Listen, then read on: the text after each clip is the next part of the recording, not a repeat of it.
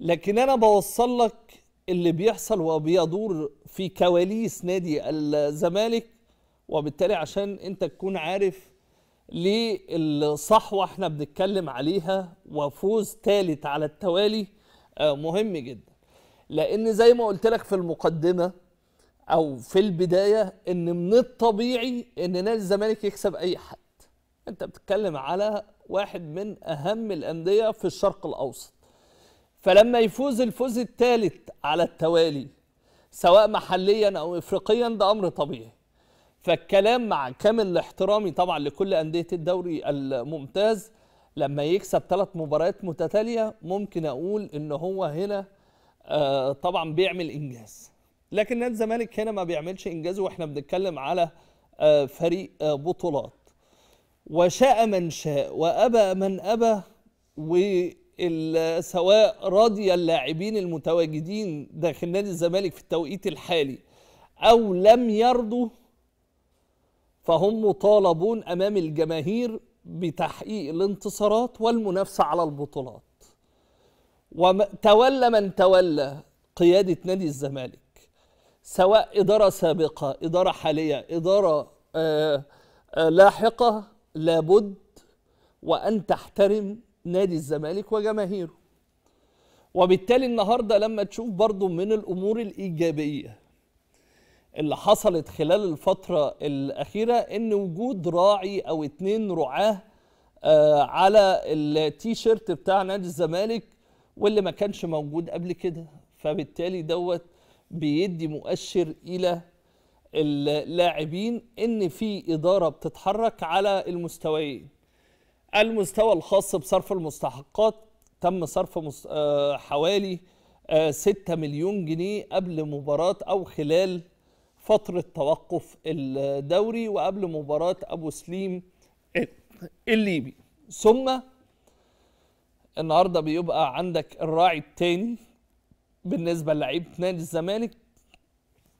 فبيقدر آه، اللاعبين وأنا بقول لك ده كلام بيدور داخل فريق الكرة بنادي الزمالك وبين اللاعبين تحديدا.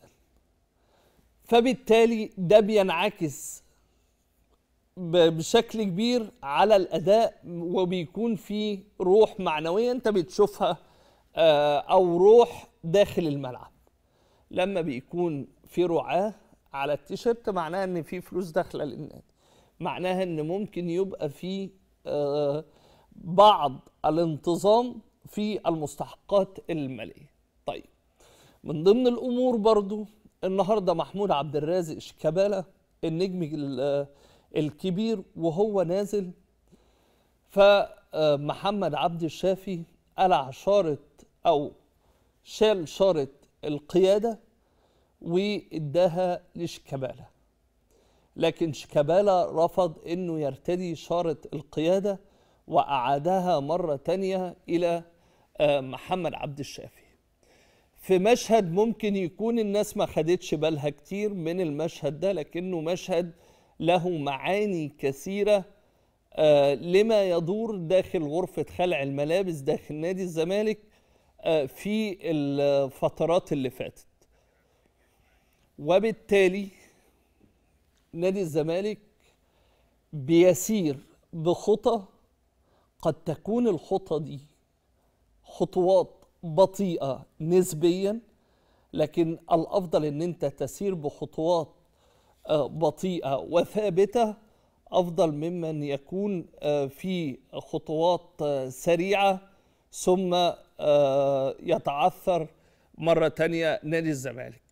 ونادي الزمالك مهم جدا جدا أن يعود للمنافسة ومهم جدا جدا إن المنافسة تظل ما بين الأهلي والزمالك ثم الإسماعيلي إنه يرجع مرة تانية آه، في المنافسة.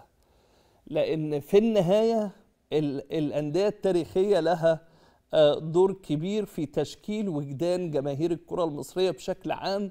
وبالتالي فوز نادي الزمالك فوز مهم جدا جدا آه، النهارده فوز معنوي الفوز الثالث على التوالي. ما بفخمش من الفوز لكن بقول لك وحكيت لك المشاكل والأزمات اللي بيواجهها نادي الزمالك خلال الفترة آه، الأخيرة.